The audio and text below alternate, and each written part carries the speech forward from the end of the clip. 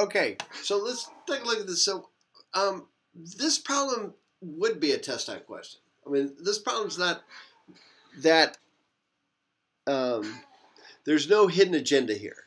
But again, it's physics, and so it can be it can be kind of difficult when you're first looking at it. So let's take a look at what's going on here. All right, so we've got a submarine of 1,480 kilograms. Even if you're in water, the Earth is still pulling on you with a gravi- gravitational force. So don't forget that, even if you're in water. All right, we will learn about the buoyant force a little bit later, but if you're floating, like, you know, one of the famous things is you go to the Great Salt Lake in in outside of Salt Lake City, you can float. You can read a newspaper while you're sitting in the in the lake, or or I've been to the Dead Sea. You can do the same thing. Um, anyway, uh, but it's got a buoyant force pushing up on you that is equal to your gravitational force that's pulling you down. So therefore, you're in equilibrium and you float on the surface.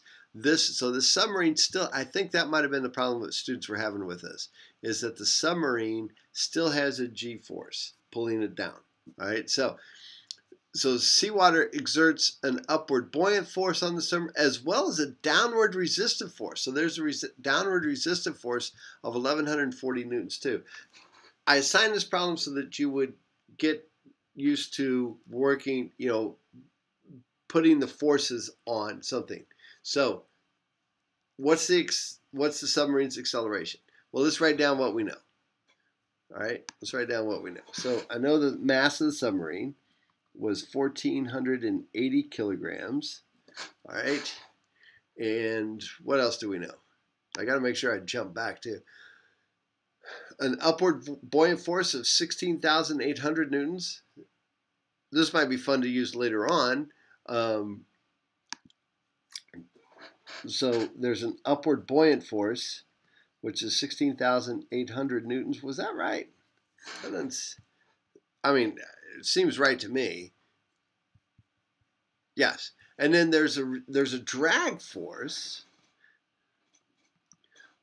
drag force of 1140 newtons. All right, so there's the drag force of 1140 newtons. So we got this mass. All right, so now let's, here's our submarine. Okay, here's our submarine. Let's draw the forces that are acting on it. First of all, mass of the submarine times g, that's a force. It's being pushed up by a buoyant force. But it's also got this drag force, which is much smaller than the buoyant force. And it is accelerating upward. So there's all the forces working. There's our diagram. That could be our free body diagram.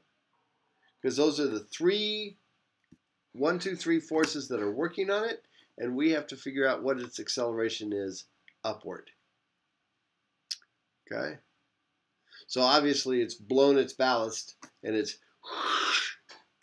going up. These two forces should be less than this one. The magnitudes of these two forces should be less than this one. So we've got an acceleration going up. So here we here's what we do. Sum of the forces in the y direction is equal to the mass of the submarine times the acceleration is equal to the buoyant force minus mass of the submarine times g minus the drag force. Solve for A. We know this, this, this, and this. I think we can solve for A.